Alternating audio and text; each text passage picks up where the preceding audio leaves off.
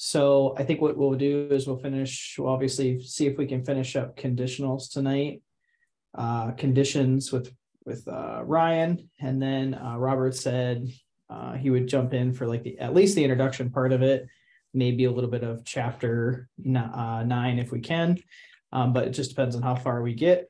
So basically what I'll do is I'll just turn it over to Ryan and, and let you go. Yeah, for sure. Um, can everybody, you can all see hopefully the, my uh, screen. Um, um, I, I started like writing out other stuff and then I, I, I went through, um, I'm sure you all do this too, whenever I have a chapter and I, I, I didn't really watch any of the, I haven't really watched any of the other videos before doing this and this actually helped me a lot, just watching, you know, I watched, um, the first three or most of it and, um, yeah, and so I, um, so um, I'm actually just going to use these these slides because um, she actually this this woman who who did this this was back in 2020 like did a better job than I can imagine. So let me just um, re kind of recapitulate some of the stuff that we went over uh, last week when we finished up with environments, um, and then kind of talk about um,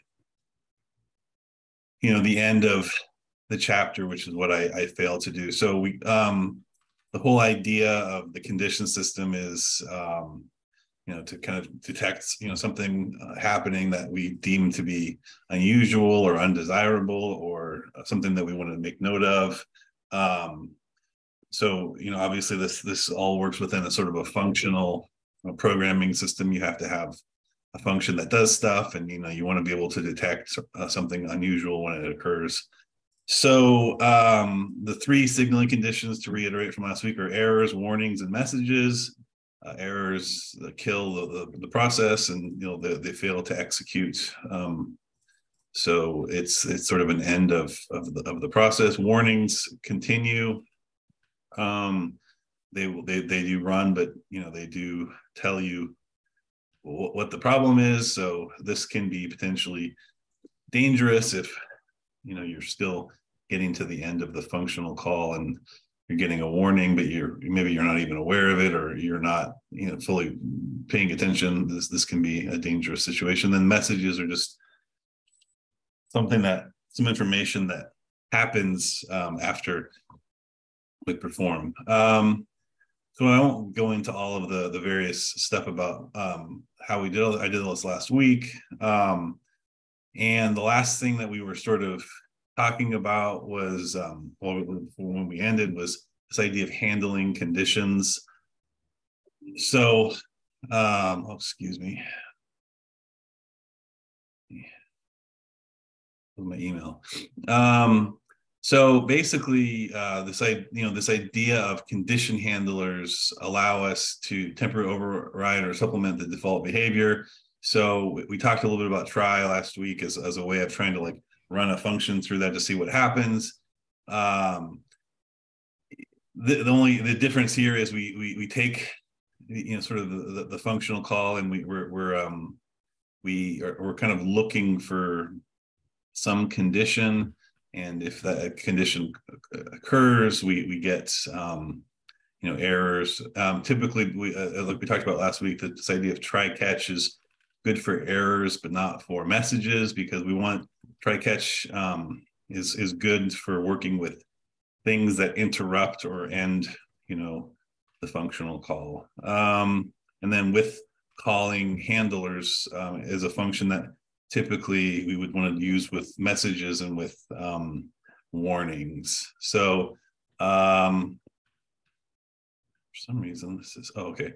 So yeah um, this idea of the condition object is part of you know this this issue of you know we, we get basically two you know pieces of information. We get the message which is you know the um you know the text that we want displayed um if our condition you know occurs. And then you know the call is you know the, the thing that you know triggers that condition. So in this particular setting we we're saying um you know we're, we're we're, we're, noting that there is a um, you know a function you know that we're trying to, to catch and so this is our um, you know, this is our message. And we see here when we actually just look at the structure of this, we get, you know, a met, we get a list of two things, which is the message itself, um, the call, and then also because this is, um, I believe, an S3 object. Is that right, guys?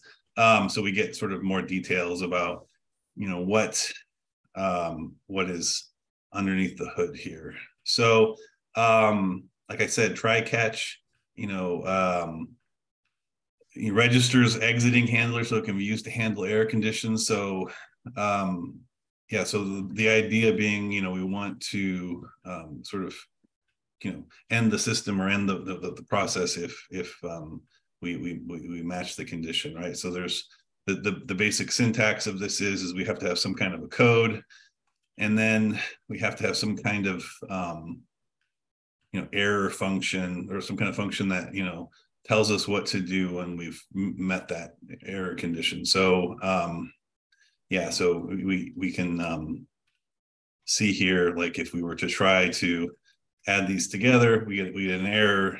Um, it's just in a natural sort of running of the um, the uh, the function. But when we add this try catch, and we say, okay, this is the conditions that we're trying to run. This is the error code.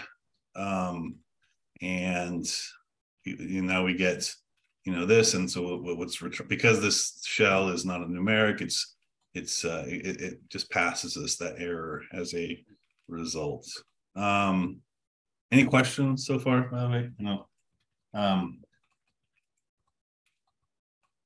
okay um so, so the with remember once again try catch was for errors or interrupt situations for you know this we want um the execution to continue um, once the you know the, the, the handler kind of does its business. But so here we have um, a message, and then you know which is sort of the the, the code or the the, the the the conditions itself, and then we have the messages that you know that come out of this. Um, in this case, when we call sort of a, a, a naked function call, um, it does it, it, it brings these messages back in order which is that was one of the things that like previous cohorts mentioned this like it's it's kind of weird that okay so this appears first and then this. So just something to keep in mind that like um oops sorry. Oh um yeah even though we we sort of write the codes out themselves you know one then two it, it comes out two then one as a as a as a function right um right and then oh um and then call stacks um you know, I um I I I I don't know what else I to really to be honest with you, I was kind of struggling a little bit like what what's it why is this? First of all, people will not leave me alone at work. Um oh yeah, so for for you know for call stacks, I guess um you know this is just a way for us to kind of to see you know all of the various order you know of all the various pieces so we're using that lobstr package here again. And so if I were to create a function of f that then points to g, that then points to h, and then h points to a message, we see here f, g, h, and then message, and then you know some of the meta sort of functional stuff to kind of tell us you know what else is in this call. Now, if we were to that that was what for doing with call calling handlers, but if we were to do try catch, um, it's all in the context of the that you know sort of things so we're not seeing you know the same sort of list of, of functional calls.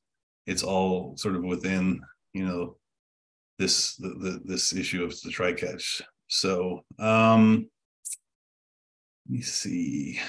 Yeah and then i guess i i i i, was trying i was trying to think of a way to like kind of talk about custom can so you can they talk about using the abort function as a way of like including a, a um you know a custom error message right? So if you know if the thing is you know we don't we don't have the thing that we want then at least you know you can add a, a function so it's more informative.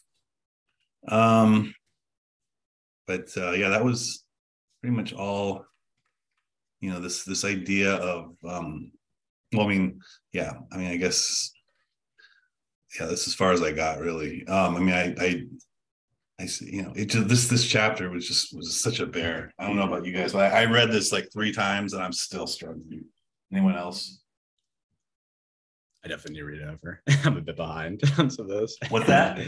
no, I said I definitely need to read it over because I'm I'm also just like a little bit behind. Um, Yeah, I, I will say that because I and uh, I guess when I get to chapter nine, I, I'll say that Alex, I'll say it early. I always like flamed out in Advanced R around chapter nine is where Yeah. um, that's It's kind of where man. I broke down. um, but um, I will say, like reading this again, it does make more, a lot more sense. Um, I mean, still, at least to me, like when I look back, like a couple years ago, uh, from when like I, you know, tried to fail to read all of Advanced R. Um, yeah, so I don't know. It's like definitely makes more sense, but yeah, I, I definitely have to like look this over again. Um, I think what's also like hard too is um, unless like you're really developing like packages and like software, right? I feel like it's a lot harder to like do this. Maybe I don't know about you guys, but like in your like day to day work, right? Where um, it's a lot more, you know, like analysis focused, right? You like your code.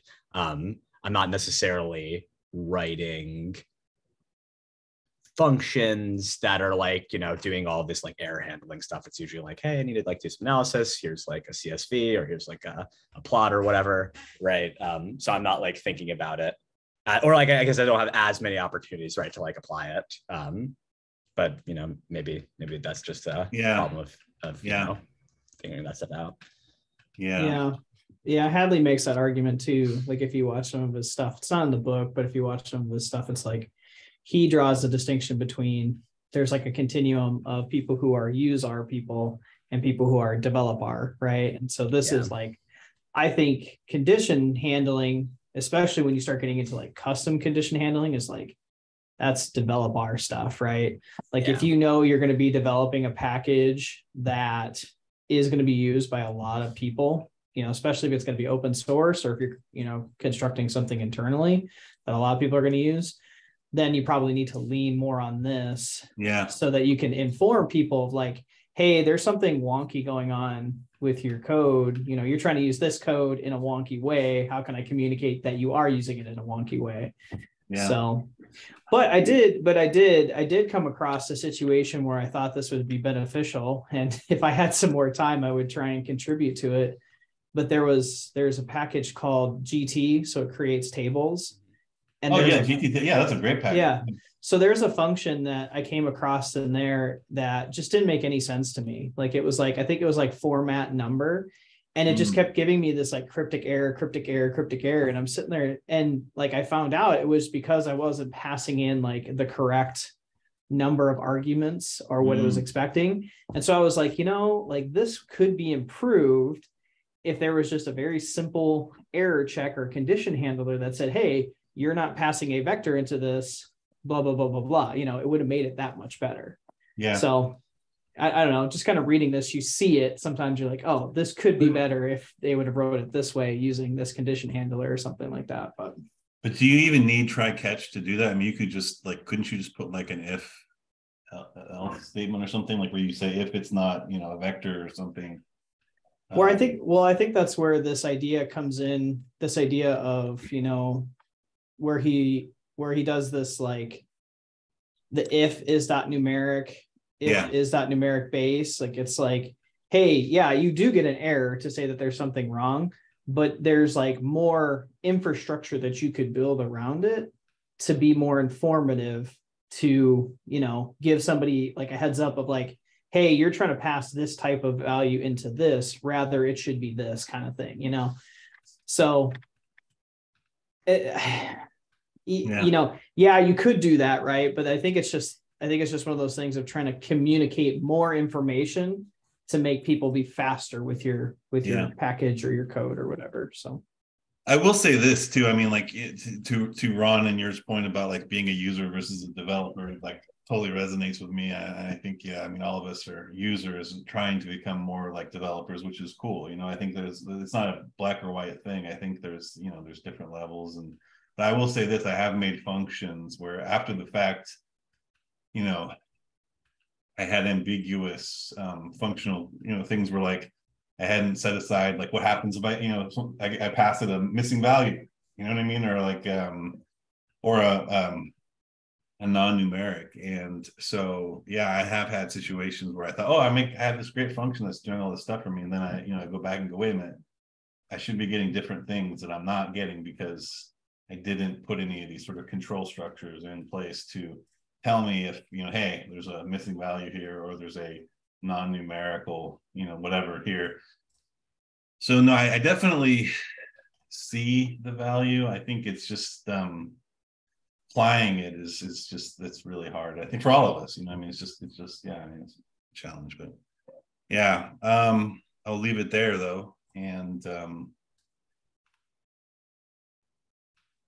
unless Ron, you, you have any other uh, Ron's uh, a little quiet today, but hopefully, if you, if you have any other comments. Or... No, I mean, I'm just going to echo what Robert said and what Colin, all you guys are saying. This is kind of a little bit of a challenging chapter because you don't, when you're doing data, like you're not normally in that developer mode. And so you don't, often, I mean, often you're just like, oh, I'm going to crank through this analysis. And if something goes wrong, then I'll go back and fix it. I'm not going to put a little special case in there. Oh, make sure to tell me next time since I'm the only user type thing. Right. So, yeah yeah.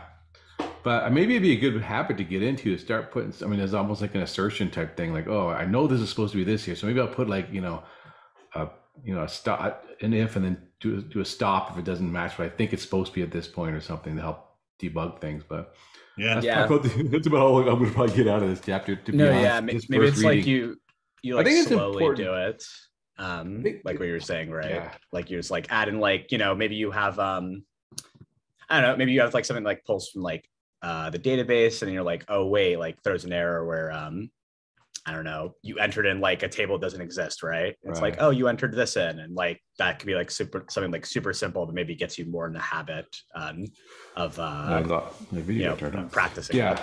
So I mean, I'll be honest with you, I found that chapter not that entertaining, and um, it's okay. I mean, it's fine. Like you don't have to understand every damn thing in this book right? I think a lot of it to me, and I always remind myself of this, is that it's you now know about this. yeah. And so when you see it, you now know where to look, and you know you've seen it before, and you you know I kind of this is one of those chapters where I, when I'm reading, I'm like, oh yeah, that makes sense. Oh yeah, I get that. That's good. Then when I'm done, like, wow, I retained almost none of that. like, yeah. so yeah, and I. And, and I, I'm a little worried now what Robert said. Like this book does get a little hard. I noticed during chapter nine that the exercises seem to be a lot more challenging all of a sudden. I don't know if that's, to be honest, whether or not he's just now gotten late. Eh, you know, hey, the writer's writing this book too. He's kind of getting running out of steam too. So maybe Hadley at this point is like, well, you know, I'm just going to put this really challenging exercise in the middle here for some reason. like there's one like asks you to implement span the span function from Haskell. And he doesn't. It's not even right. That's not how span works in Haskell. So I was confused by that. Yeah. You know, I thought was funny. Uh, I forget what I looked at. I said, I give up and look at the solution. And it was like it was like a page and a half solution. Like, well, no wonder I wasn't going to whip yeah. that out in a couple lines. um, um, I forget which year. I think it's like the first cohort, but the woman who actually, I think it's the same woman who did these the slides that I, you know, I, I, I cribbed. But she said you know, the, her problem with this chapter was is that the examples were too exampley, which I, you know what I mean. That's great. That's um, great I mean, that's like, uh, yeah, I get that. Though. I never knew I needed until just now. yeah. Um, but yeah, I think that there is something about that that is like, yeah, and that's probably a common thing in a lot of you know, you know, um, coding stuff. Okay. So I think my point was let's give ourselves permission not to understand everything and we can. Definitely. Yeah, it's one of those things where like it, like you said, Ron, it's like you, you come across it when you're coding and then you like recognize it and you're like, oh, I, I know this little thing. And it might help you just solve like one little problem at that moment. Right. And so it's just good. Yeah, which is good. And so, you know, and I've had some of those experiences too going through this. Is like I come across a situation where I'm like, oh shoot, I can't solve it, but I know that if I do this one little thing, that I can go and solve it. And so it, it, it comes up here and there. So Cool. Well, awesome. I appreciate it, Ryan. Uh, really yeah. appreciate you taking on the challenge and taking us through um, chapter eight. And so I think what we'll do is we'll switch over here to Robert and we'll start talking about introduction and see if we can jump into uh, functionals. So, yeah, cool. Uh, do you guys see my screen? Yes. Awesome. Um, here, wait. I one sec. I don't like that. Why is it doing that? Uh, no, whatever. It's like I, I always want my zoom on this screen, but it's whatever. I don't really care enough. Just have to That's stop sharing and then reshare, I guess. What you. Now, okay, let me do this and then enlargen this and I I don't even it's whatever. so long as you as long as you guys can see it. Like I, I we don't see care. uh, Corto, yeah. Awesome. mark now. Sweet. Um, cool. So this was honestly, unlike chapter eight, which I think was you know not not the most fun um, chapter to go through. I I really enjoyed chapter nine.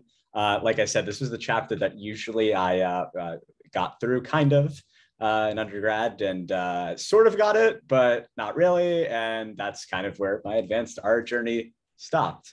Um, this honestly, on another read after I think just like a bit more years of like programming experience and like data analysis work, and also doing a bunch more stuff in Python.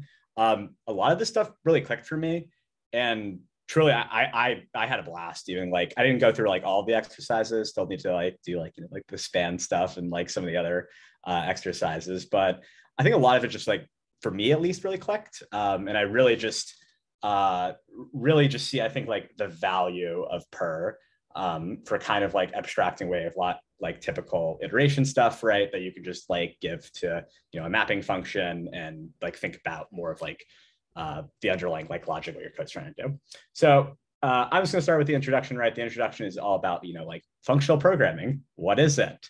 Um, so there's like the technical definition of functional programming. Um, I, I think, and like Hadley says this, um, it's not like as relevant, right? I mean, if we want to get like technical definition right, he outlines it uh, that functional programming languages have two things that make them, you know, quote unquote functional. Um, one that our functions are first class, so they're like you can just, you know, any other like type of object. So in the case of R, right, it would be um, things like you know vectors and lists, right? You can use them the same exact way. You can pass functions to other functions. You can assign um, functions to names, right? So it's like that that means that functions are first class.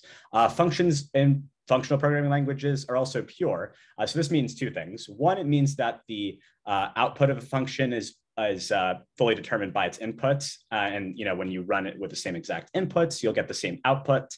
And a function has no side effects. So there's actually a bunch of our functions that break this rule. Um, for functions that aren't pure, you can think of like any of the um, any of the functions that let's say draw a random that like draw a random var- value from like a statistical distribution. So like, let's say I want, you know, 10 values from a, a standard normal distribution, right? If I do like R norm 10, and each time I run that, I'm going to get like a vector that's different, right, in each run. Um, so that would be something that isn't pure. As for side effects, stuff like um, writing files to, you know, um, you know, disk, right? Um, that's an example of something that has um, a function that has side effects. So that would be, you know, an example that that function's not pure.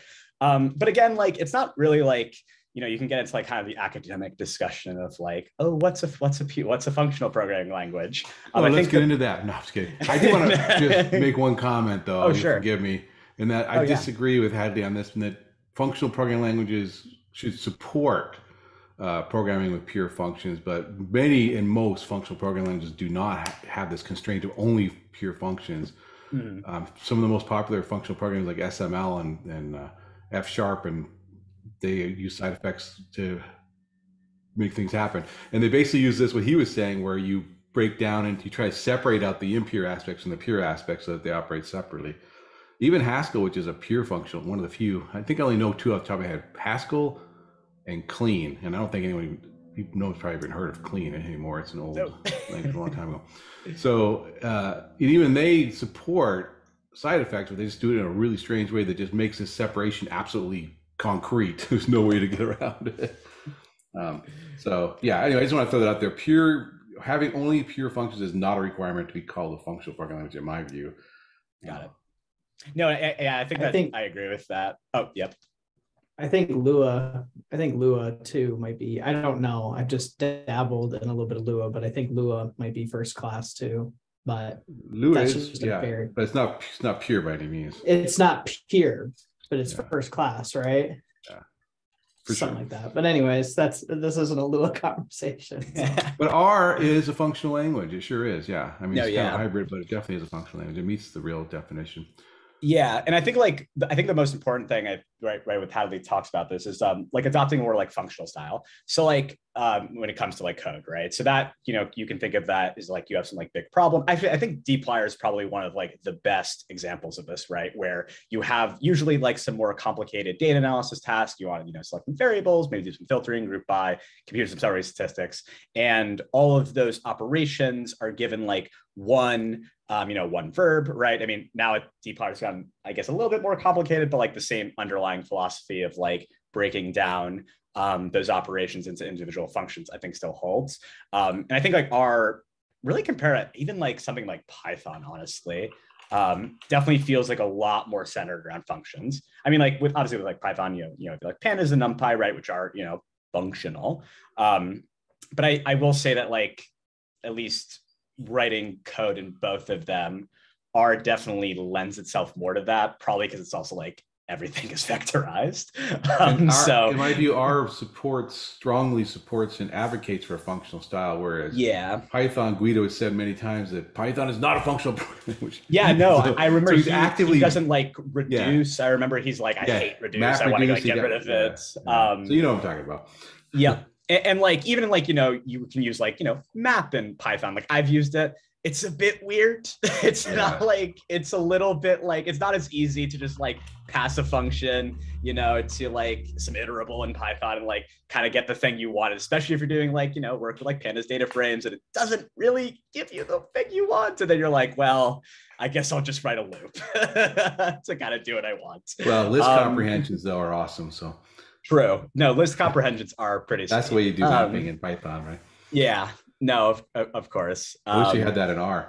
Wait a minute, I'm gonna write that library right now.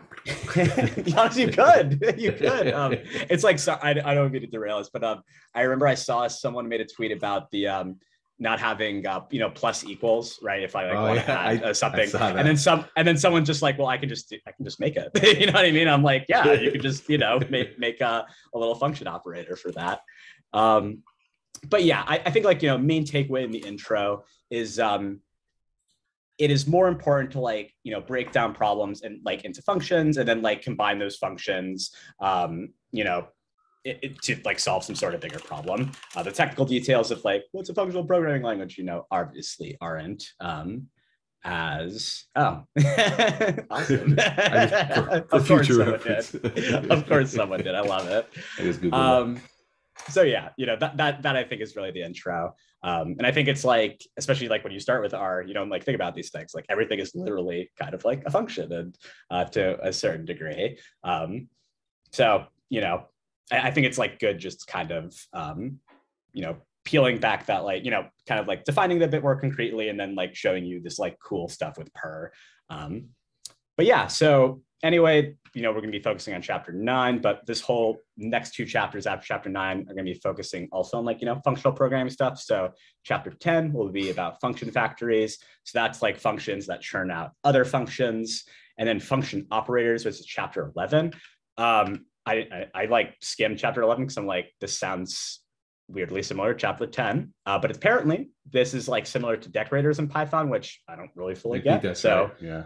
um but that'll be fun. So I, i'm super excited for this um this stuff. Um so yeah let's start uh the chapter and let's you know see how far we get. Um so um you know a functional right? We're just to define it. It's just a function you know takes another function and returns a vector. Um so super simple. I, oh you know like let's say we have this function randomized, right which just generates um you know has some sort of like function right that you pass to it and um generates what should I call it uh, a thousand uh, draws from a uniform distribution. So you know we can just do randomize and then oh i want to get like the mean of that. The meaning of it again i want to like sum up those values right? That's just an example of the functional super um super simple. Um also just one little note right? For loops are like bad at r. It, it's really weird like people i think like kind of dunk on for loops that are a lot um mostly i think it's like and, and Hadley right does mention this it just depends like the operation that you're doing um you know correct because like uh, r's copy on modify semantics right like you could be doing something like super inefficient. So I think it, it was right in the uh, I want to say it was like the first chapter, right? When he was kind of showing like looping over a data frame creates all of these like copies, right? Especially if like you're modifying a row. Um, and so it's not really that loops are bad. It's just like you just need to be more cognizant of the stuff that like you're looping over. Um, because like our loops in general are kind of just like slow and like you know Python too. Like it's not like you know compared to like something that's vectorized. Um, so it's not like they're inherently slow. It just depends what you're doing. And I think that's like a good call out too. Um, because you know, sometimes you're like, I can't figure out how to like write in a map in function, you know, like a functional right now. I just know what the loop is and you know, just write the loop. Um, you know, there's no nothing bad about that. Um, but yeah, so the first our first functional is going to be the mapping function. Um, so we define some function triple that just takes a vector and just multiplies every element of it by three. And what do we get? We get a list um, where each element, right, is like each element of that vector. So for one, we multiply that by three, right? Three, two, six, three times three, nine. Um, and this is like super, super neat, um, I, I, think, right? Where you're really just focusing on um, what the operation you want to do. It's like, oh, I have this vector, right? One through three, this integer vector, and I want to multiply each element of, of it by three. I mean, granted, you could just, you know, multiply by three without without um you know making the function as without talking about it but i think it's like just like a kind of a good example of right showing like kind of like the power of what you could be doing um I don't have the graphics in this, but I absolutely love them looking at it where it kind of like breaks down, right? Where you have like this vector, well, you have like, right, you have map, right, which is your function. You then have some vector, and then you like pass it a function. And that function is called on each individual element of, um, you know, the vector that you pass. Uh, this, by the way, I don't want to interrupt every 10 oh, seconds. No, me, but this I think is interesting because you'll notice what it actually returns is a list, and it's because you use map, yep. right? And this is one of the things I think that makes, in my view, going through this chapter makes R harder than Haskell in some ways, right? Because, or even Python, because in, especially in Haskell though, there's one map function and it just, it always is more like um, modify. It just knows it, whatever type is always returns the same type. Uh, and it seems it seems very natural, like you map onto a. And the other thing yeah. with Haskell is most, I want to see only data structure you ever use is a list. so it's not like lists. And lists in, in uh, are more like I don't know. Anyway, um, lists are more like vectors, I would say, but um, and that they always have the same type. So I think things get a little more complicated because you have to deal with you know all these different types of mapping and all these you know and you get confused because like oh I, I tried to do this map and it came back weird especially if you like use the base R functions it's like what is going on yeah so um, that's what I found like this chapter is a little confusing for me I'm like wow there's all these like special cases and uh, dealing with the different types of objects that you could have are handled like special cases and it requires a lot mm-hmm. more a matrix of possibilities in your mind yeah at least for me i guess for my i didn't find it as confusing i guess mostly because like i'm just grouping it about like what does this like family of stuff do right so like right. you know map no, map that. yeah like map of a list and then you have all uh, right like map, we'll get into like map double map character yeah. all that stuff and then you have like the walk family p map all of that and at least for me simplifying it just down to that and then just remembering yeah. that like when I need a specific, you know, uh, vector of like a specific type, right? Then it's just adding in that suffix. Um, but but I do agree, right? Because it's like there is now like 20 of them or like whatever, right? Um, it just bothers me when I look at that thing. It says map one to three triple, and I get back this weird thing back, this list. Like, what? That's not what I expect from like yeah. my experience with every other language in the world that does map, right? no, that's that's totally fair. Um, oops, sorry. Um, what I also like too is that this, you know, sometimes I think you have some opponents, right? Let's take Guido, right, as an example, um, where it's like th- this is more like, oh my god, fuck. I think like a lot of engineers, I just noticed this from like my own experience, so anecdotal, kind of you know dunk on functional programming languages, right? It's like this is way too confusing, but like this is all it really is, right? You just and, and, obviously there's more like complicated stuff, right? As Hadley says, um, you know, it's obviously written C++. There's some more, you know, error handling, but this is really like the core of it. You have some output list, right? Just for map, and you loop you loop along the loop. Jesus, you loop on the indices of the vector, um, and you just put it back in the list, right? And you apply some function to it for each element of it, and that's it and that's actually, I think, I'll, I'll get to a little bit more later. This is, I think, super powerful because I don't know about you guys. When sometimes like I read like code with like a bunch of loops, it seems to me really heavy. I would say especially in R, maybe because like all the brackets. Like if I'm writing loops in Python, I don't find it as heavy to like read. But um, I think sometimes when you're like re- reading right like a lot of procedural code, at least for me, there's like much more of a like an overhead I have to keep in my mind about like what's actually happening. Whereas I'd rather be focusing on like the operation itself rather than like all of like the bookkeeping stuff. Um, you know, teacher and? I know there are people who'd be like, no, like that that makes it more like the procedural code makes it a bit more clear about what you're doing. But like to me at least, just saying like, okay, map iteration and applying this function to this vector. And to me, that's that's super cool.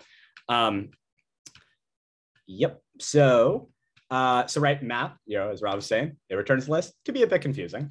Um, but uh, purrr does have um, other types of like mapping functions. So let's say I wanted um, a, let me also just read this in. Um, let's just say I wanted a character vector, right? So I take, you know, mtcars and I want, what are like the types of um, each column? So type of will turn a character vector. In this case, I get now a named character vector of each of the um, data types of each column in mtcars. Um, map logical, right, return a logical vector uh, saying uh, which, um, in this case, I'm passing it as double. So I'm saying, I'm asking which, um, which columns in mtcars are double vectors.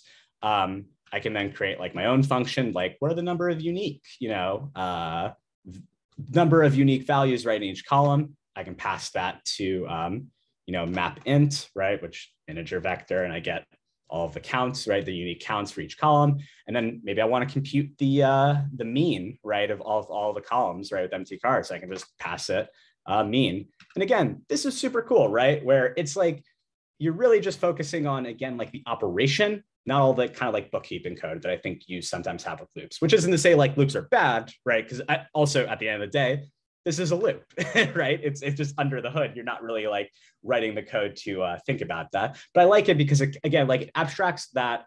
I think like the less important details of like looping over this, doing all these operations, having the output type, and like making sure you know you don't get like an off by one error, all that stuff. Um, just focusing more on like what is this thing? What is the thing I'm actually trying to do? In this case, um, oops, sorry. Um, I am just trying to, you know, get the mean of all the columns of mtcars. And that's it.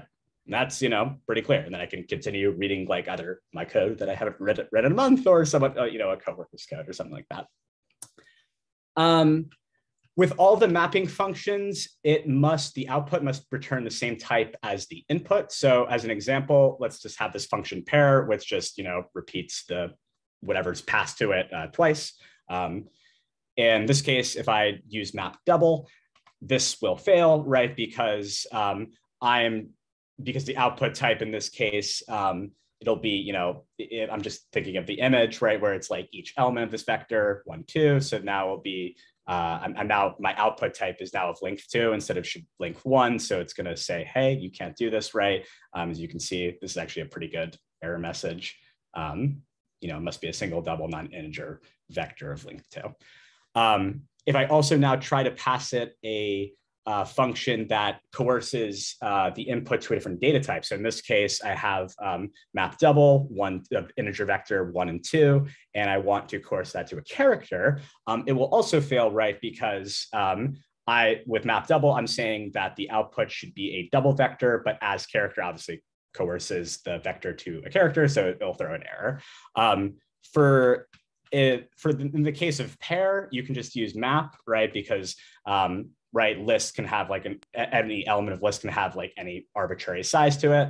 Um, and you know now it runs without you know failure. Um, i can also pass you know as dot character to um, map as well and get back a list but it's probably just simpler you know if i just want to like coerce these this integer vector to characters i can just do you know as dot character. Or honestly you could just you know if now i'm again thinking about it just as dot character. You know don't even need the map. Um, but yeah I wanted to, I wanted oh, to yep. jump in here because I think this is like a really important. It's it's a very subtle thing that Hadley talks about, but I think it's really important about this idea of switching between map double and map. And it kind of goes back to what Ron was mentioning before of like, well, why isn't map just like modify in the entire thing? Mm-hmm. I think part of like like the I think like part of the like really cool thing about this design about having map as its base to output a list is in situations where you might have like a lot of computation or you're doing a lot of iteration where in that iteration there could be like an error or something and so what's nice about this is because it outputs a list, it can output any number of objects uh, from that operation, but then it opens up the ability to do functions like safely and possibly.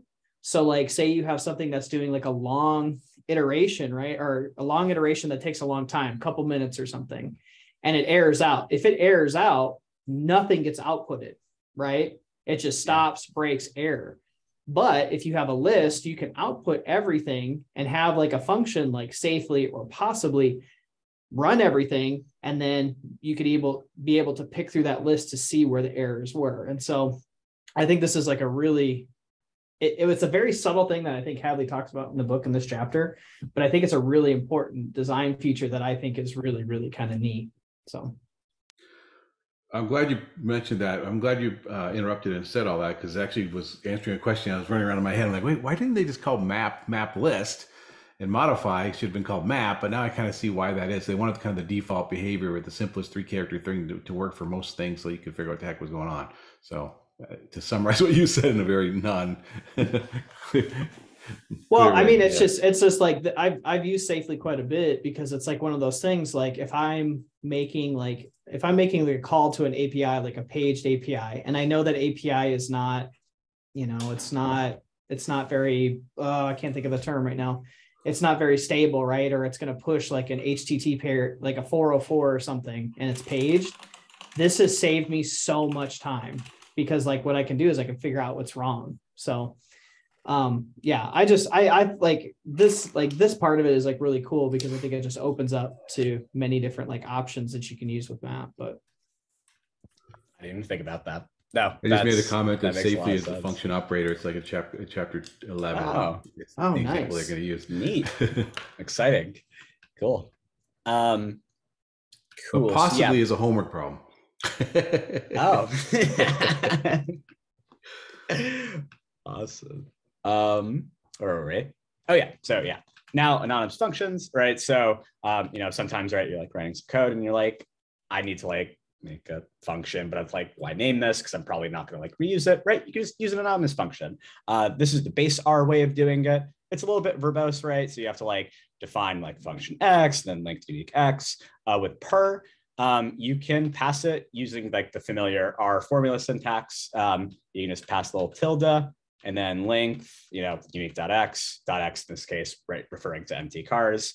And the reason, you know, this is a bit more concise. I think there was one example uh, where actually I preferred the base R, um, the base R way of doing it, just like it made the code a little bit more clear. But in general, I think this was like, to me, I prefer um, this syntax. I also know R has like some another like lambda syntax. I think it's like, you know, the I could just write it. Um, it's like this and like X or something. And that, that yeah, I put it in the chat. Got it. that that looks hideous to me. I don't know. I, I don't really it. like it. I, like I don't. It I don't know. Maybe I need to write with it a bit more. But like, I, am a big fan. I don't know. Like like the tilde. Um, but maybe you know, maybe I'll be a convert. Who knows? Um, but the reason right right uh, this even works is because of this as mapper uh, function at the back end that if we run it, uh, you'll see um, it converts, right, your little, this little like tilde formula syntax. Um, it, uh, whatchamacallit, it it converts it, right, just to a function call. So like if you looked at the documentation, it would say like if you pass it a formula, it'll just convert into a function, which you can kind of see here, um, you, like function, right, and then whatever you know what the little function body is what the little angle bracket, lambda angle bracket thing is that is printing out there? Is that, something that that that uh, is that like for the class? I, I, think it's some. I don't know. It could be like an Erlang thing that I couldn't tell you and don't. Okay, I, I didn't know if somebody knows to talk about because I'm like, what is that? That's cool. I, am assuming. Seen... Yeah. No. Oh, go ahead. Go ahead. No, go ahead. No, no, I, I had nothing. I've I've come across this function as mapper one time, and I was trying to find the blog post where I saw it, but I think it's a type of function that you're defining. But I'm trying to find the the the the blog post that I came across that talked about it. I know Colin Fay talked about it one time, but it was something where he was creating like fun. He was using that as mapper to create functions, to which then he passed into purrr. But I'll, I'll I'll see if I can dig around and find it. Interesting. I think That's I don't cool. know. I don't know. I have to I have to look it up, and I don't That's even cool know if that's though. this. I don't know if it's proper syntax anymore, but No, I mean that's cool. If I mean, but if you find it, I would love to give it a look. But yeah, that's what AsMapper does. Just you know, takes this formula syntax, converts it to a function. Um, and this is you know pretty useful if let's say you want to generate like some random data. So, you know, use map and the integers one through three. And in this case, I just want a list with three elements with um, two random draws from a random uniform distribution. This was kind of confusing me because I'm like, why does this work? like I'm not I'm not passing it anything. And I want to say like this kind I could be wrong. Um kind of might work due to like lazy evaluation, right? Because in my head, this is kind of where I was thinking before um it, before this uh call, is like if I look at, you know, let's say I pass like one, right?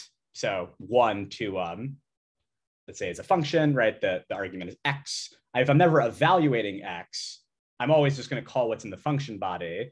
So that's kind of why I was thinking, like, why this even works. Because I don't know. In my brain, I was like, where's the dot x? But right, I guess that works because I've never actually like doing anything with what I pass to the argument name. I'm kind of butchering this, but um, yeah. I, I, don't think know if it's. that made any sense. I think you're. I think you're on the right track, but I think it's because dot x is what gets passed first, right? So yeah, So dot x would be the vector of one through three, and then the second positional for the run uniform or RU and F would be the the two, as I think is what's happening. Maybe. Well, here, this is actually honestly, if I wrote it out like this, like let's say I had like this is called test fun, and let's say I do like function x runf two. Um, so to me, right, if I like oh shit, um, you know, test fun two, I'm never referencing x right at all in test function, right? Um, yeah, that's fine though. but that's fine. And I guess that's well, at least my brain was going more to like lazy evaluation, right? Because since I never access X, I never really do anything with it. I'm just calling the body.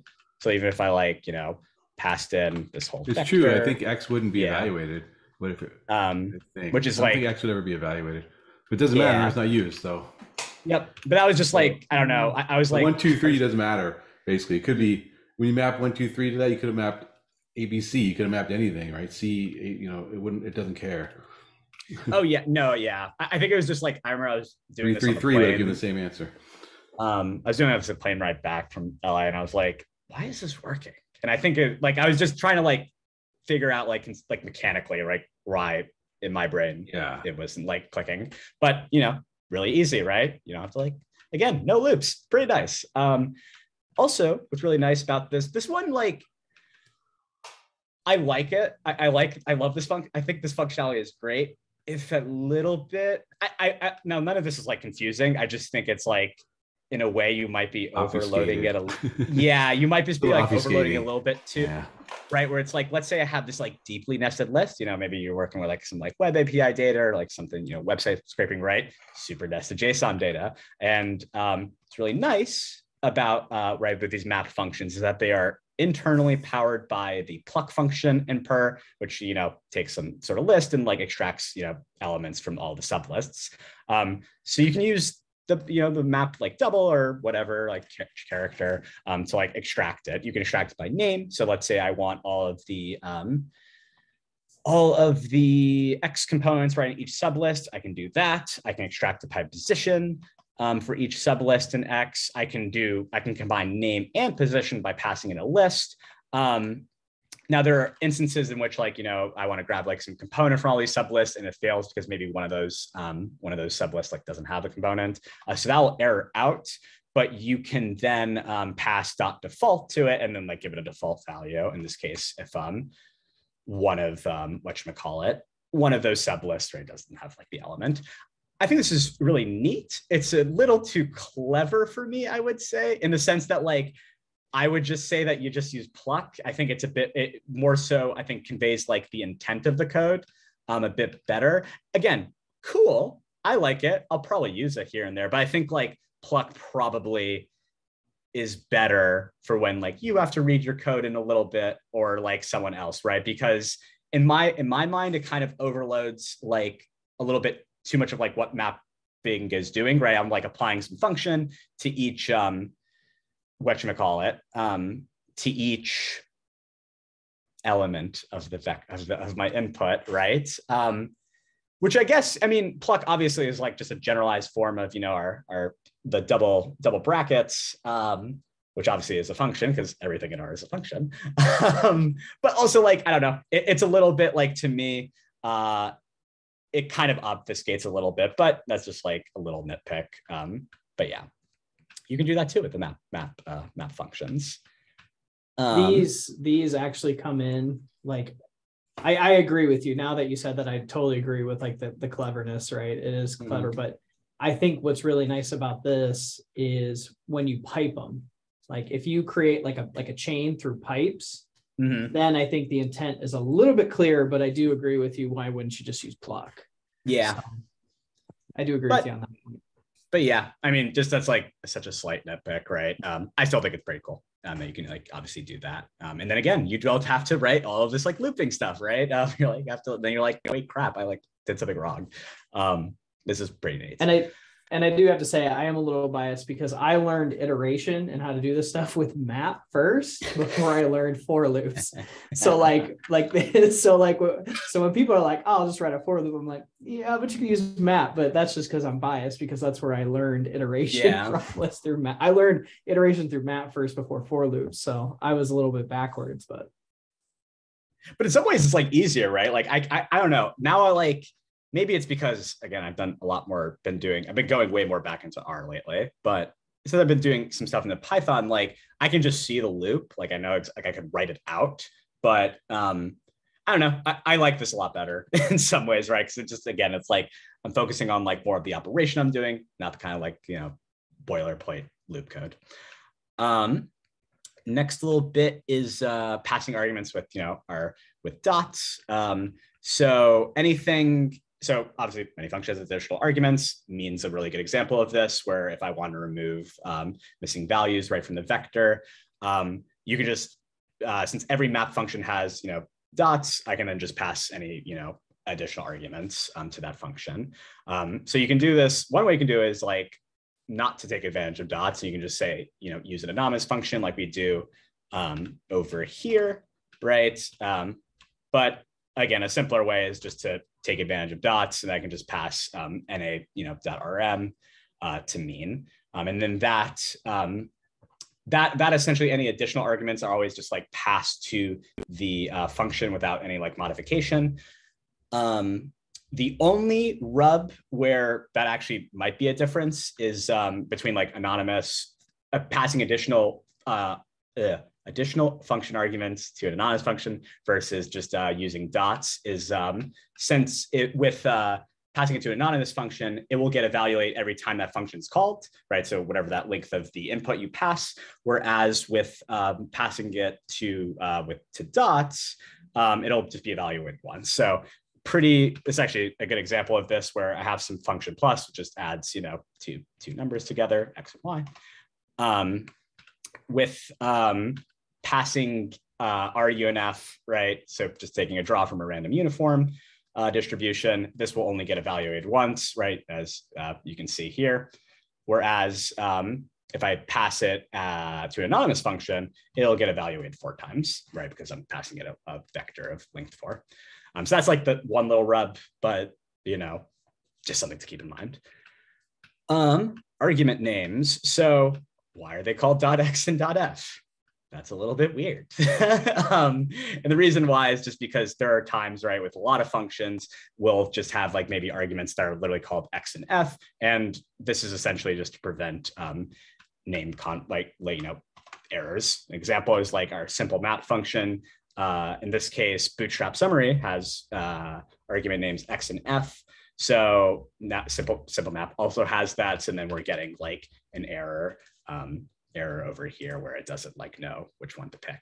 Um, so that's why it, that was like you know pretty simple. Also in general, and I guess like I think we'll get it to here. Um, you know, varying another argument. Let's just say um, I have you know I guess this is a thousand draws from a Cauchy distribution, and I want to like try different. Um, I want to try like trimming it. You know, trim trim means with different values. Um, but obviously X in this case, I want it to be constant. So I only want to vary trims. So a really easy way to do that is, um, you know, just passing trims, right? Um, is the argument that I want to vary in this case. X in this case is constant. And then I just vary, um, vary trims, right?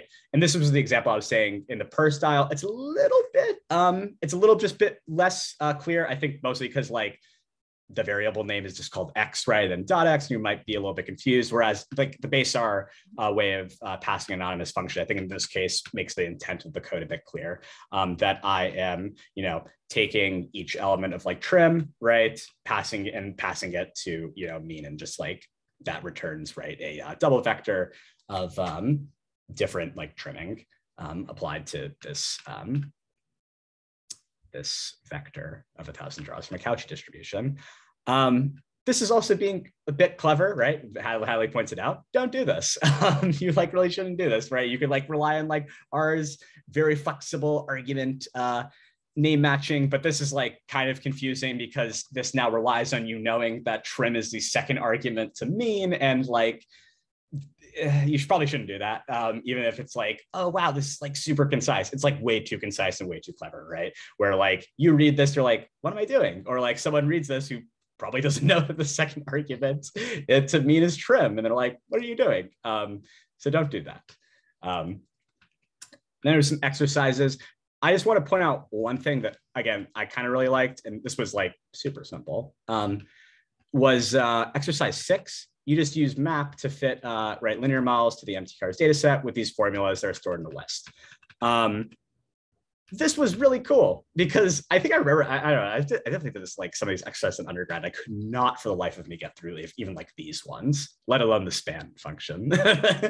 um, but I think what was so cool about this is like, it's just one line. And it's also super clear is that I'm taking formulas, I'm varying each input. So I'm just like and you know fitting like these different um, models right to empty mtcars and i'm saving that as a list. Um, you can do it with a loop. Loop's also like not hard right? You just like have some output vector which is list and then i loop through um, all of the formulas and save it you know to this output list right? And i get like the same uh, the same thing. Um, but again like you have like to me it's just a bit more heavy to like read.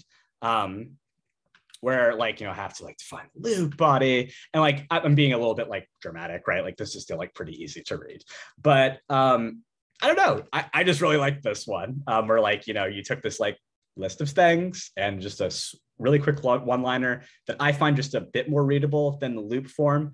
Um, but yeah, no, I, I don't know. I, I just wanted to call that one out because I thought that was like very easy, right? To, to do that. And again, like then you're just focusing more, I think, on like the actual problem. You like have probably all these like different candidate models. You want to like get fits on them, and then you like maybe you want to like do some evaluation and stuff.